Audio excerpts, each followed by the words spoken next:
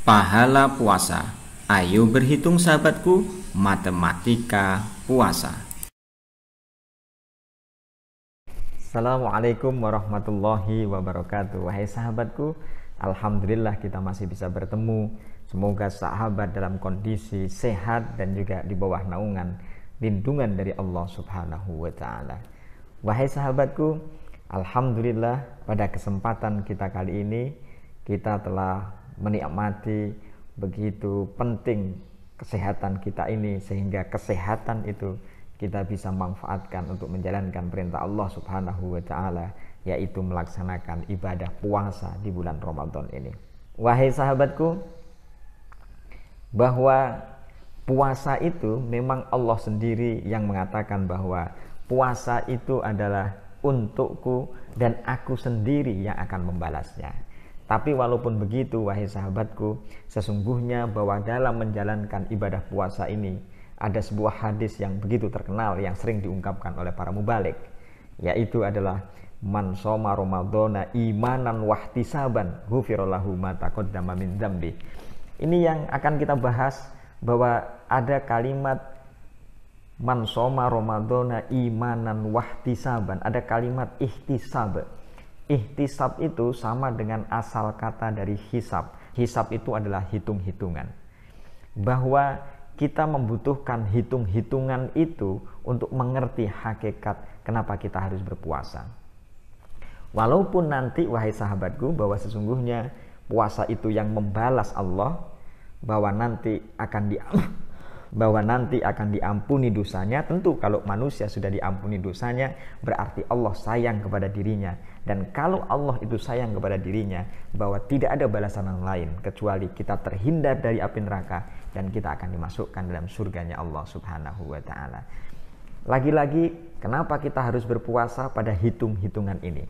Pertama, kalimat hitung-hitungan ini Allah pernah mengatakan wa inta ta'uddu nikmatallahi la tuhsuha dan jika kalian menghitung nikmat Allah, maka kau tidak akan bisa menghitungnya. Begitu besar nikmat Allah ini sehingga tidak mungkin kita akan bisa menghitungnya. Tidak mungkin kita bisa menghitungnya wahai sahabatku. Yang kedua, hadis tadi itu. Man soma ramadhana imanan wahtisaban ghufirallahu ma min dambi. Dan yang ketiga adalah hasibu qabla an tuhasabu hitunglah dirimu sebelum engkau dihitung oleh Tuhan. Hitunglah dirimu sebelum engkau dihitung oleh Allah Subhanahu wa taala. Wahai sahabatku, kita akan hitung-hitungan. Coba ini. Andaikan kita ini, wahai sahabatku, bernafas itu setiap satu detik kita bernafas. Maksud dari bernafas ini adalah ketika kita keluar satu detik, lalu kemudian kita hirup kembali satu detik, bahwa kita ini kan tidak mungkin hanya mengeluarkan nafas lalu kemudian tanpa menghirupnya. Jadi ada hirup, ada nafas dan lain sebagainya.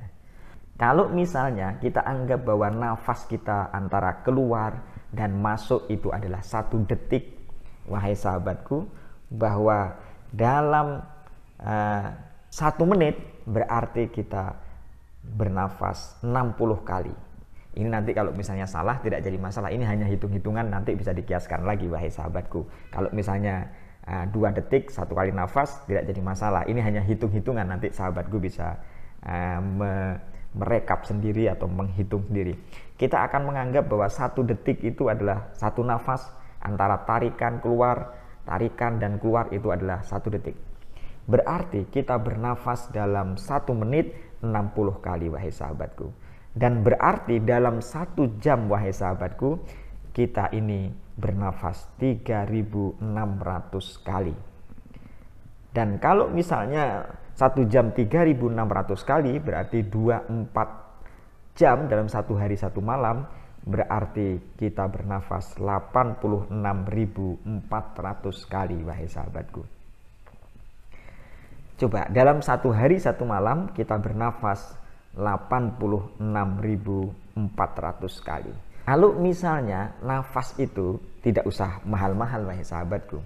Kita hargai 100 rupiah saja wahai sahabatku. Berarti 100 rupiah dikali 86.400 kali maka akan menghasilkan 8 juta 640 ribu. Berarti dalam satu hari kita membutuhkan uang untuk membayar nafas itu. Ini hanya dari nafas 8 juta 640 ribu. Itu dalam satu hari. Kita kalikan dalam satu bulan, wahai sahabatku misalnya, kita anggap saja 30 hari. Berarti maka dalam satu bulan 8.640.000 itu dikali 30 misalnya akan menghasilkan jumlah kira-kira nanti kalau salah mohon maaf wahai sahabatku ini hanya kira-kira saja itu adalah 259 juta 200 ribu rupiah. Saya ulangi, dari nafas saja dalam satu bulan kita membutuhkan uang 259 juta 200 ribu rupiah dalam satu satu bulan. Coba dikalikan nanti jumlah ini dikalikan satu tahun maka berapa jumlahnya? Ini baru dari nafas kalau harganya yang sangat murah 100 kalau harganya seribu wahai sahabatku berapa? Kalau harganya dua puluh ribu wahai sahabatku berapa? Tapi adakah orang yang bisa membayarnya? Sahabatku maukah misalnya saya tantang untuk tidak bernapas selama satu jam tapi 10 juta. Barangkali tidak ada yang berani wahai sahabatku. Itu baru dari nafas. Hitung-hitungan ini menandakan bahwa manusia itu lemah. Kalau manusia itu lemah, maka taatilah Allah, berpuasalah. Belum harga mata kita ini, belum harga telinga kita ini, belum harga gigi kita ini, belum harga hidung kita ini, belum harga kepala kita ini, belum tangan kita ini. Wa inta uddu nikmatallahi la tuhsuha. Kalau kamu menghitung nikmat Allah, jelas kamu tidak akan bisa menghitungnya. Itu baru hitungan napas, dengan harga 100 rupiah wahai sahabatku berikutnya bahwa hitung-hitungan itu juga biasanya menandakan secara kuantitas ada istilah ada panjang ada pendek. Hitung-hitungan. Kapan dia mulai panjang kapan dia mulai pendek. Coba kuku kita ini kadang panjang lalu kita potong panjang terus. Rambut kita ini juga kadang panjang lalu kemudian kita potong. Ada yang panjang pendek dan lain sebagainya. Kuku kita kemudian eh, rambut kita gigi kita yang anak kecil yang dia patah lalu tumbuh kembali atau giginya uh, bahasa Jawanya ucul lalu kemudian muncul kembali coba itu panjang. Dan panjangnya berhenti. Kalau misalnya itu dipahami cukup dari kuku kita ini. Kapankah kuku kita ini panjang, pada menit keberapa, pada jam keberapa, pernahkah itu yang menjadi milik dari sahabat sendiri, pernah memperhatikan kapan dia panjang. Sahabat tahu-tahu, oh ini kok panjang, tahu-tahu ini sudah panjang rambut saya tahunya sudah panjang, tanpa bisa memperhatikan. Bahkan seorang ibu yang mengandung bayinya itu pun ibu tidak pernah mengerti dan tidak pernah tahu kapan tangannya mulai muncul, kapan hidungnya itu membentuk, kapan bibirnya itu membelah sehingga membentuk sebuah mulut. Kapan? Tidak pernah ada yang tahu, wahai sahabatku. Nah, dengan cara hitung-hitungan begini, wahai sahabatku, tentu kita akan menjadi orang yang bertakwa, dengan puasa kita akan menyadari kekurangan kita itu. Dengan hitung-hitungan itu. Itulah sebabnya kenapa mansoma Ramadona imanan wahtisaban ihtisab. Kalau kita hitung-hitungan begitu, maka kita akan diampuni oleh Allah karena sebelumnya kita telah menyadari eksistensi kemanusiaan. Dan yang terakhir wahai sahabatku hitung-hitungan lagi. Kalau misalnya Allah yudha'ifu limayasa itu adalah perkalian. Kalau kita beramal maka Allah yudha'ifu akan melipat gandakan. Dan lipat ganda itu adalah perkalian wahai sahabatku. Kita akan melihat misalnya plus dikali plus adalah plus. Tindakan yang bagus kita berpuasa yang bagus plus kemudian kita melaksanakan sesuatu yang baik pada bulan Ramadan ini, maka akan menghasilkan tindakan yang plus akan dilipat gandakan oleh Allah Subhanahu wa taala. Plus tindakan bagus dikali tindakan bagus plus akan menghasilkan tindakan plus. Allah akan mengapresiasi dan kita akan mendapatkan pahala yang berlimpah.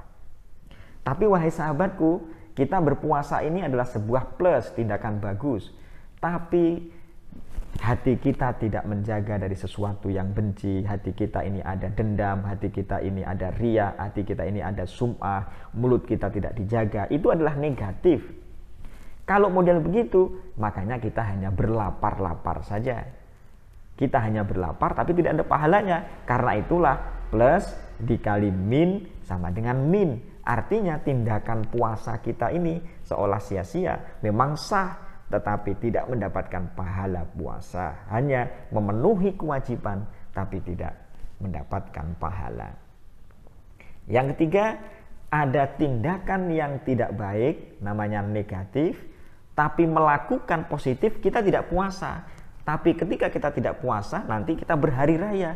Tindakan yang positif dengan cara memberi makan kepada orang lain. Memberi makannya memang iya, tapi itu kan itu juga akan dinilai min oleh Allah Subhanahu wa taala karena itu artinya kita melaksanakan sesuatu yang sunnah tapi meninggalkan sesuatu yang wajib. Sama dengan acara walimah wahai sahabatku, kita melaksanakan walimah secara besar-besaran sebagai sesuatu yang bersifat sunnah, tapi kita lupa untuk sholat zuhur, sholat asar, itu berarti kita meninggalkan hal yang wajib. Sama juga dengan wahai sahabatku, kita menjual tanah, kita menjual sawah kita, sawah ladang kita untuk melaksanakan acara walimah karena anak kita sedang melaksanakan pernikahan misalnya, tapi ketika kita menjual itu kita lupa bahwa hasil jualan itu kalau untuk naik haji bisa. Gitu. Berarti min dikali plus itu pun menghasilkan menghasilkan min wahai sahabatku karena meninggalkan sebuah kewajiban tadi itu untuk mengejar sesuatu yang sunnah. Dan yang terakhir ini makna yang saya ambil supaya bisa bermanfaat dalam matematika puasa atau dalam hitung-hitungan puasa ini kalau min dikali min sama dengan plus. Itu saya memaknainya secara berbeda wahai sahabatku. Tentu ini bersifat subjektif, semau-mau saya. Tapi ini bisa kita jadikan sebagai hikmah bahwa tindakan yang positif, yang negatif dikali tindakan negatif kalau kita menyadarinya dan lalu kita memunculkan rasa penyesalan dan kita memunculkan diri kita untuk taubat kepada Allah Subhanahu wa taala.